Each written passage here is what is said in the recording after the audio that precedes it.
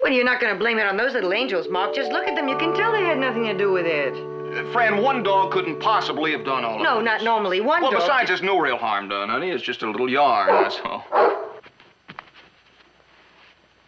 Just relax now. I can pick it all up if I can find where it begins. Mark! Uh, look, look out! Mark, don't move! Ah! Mark! Just a little yarn. Müzik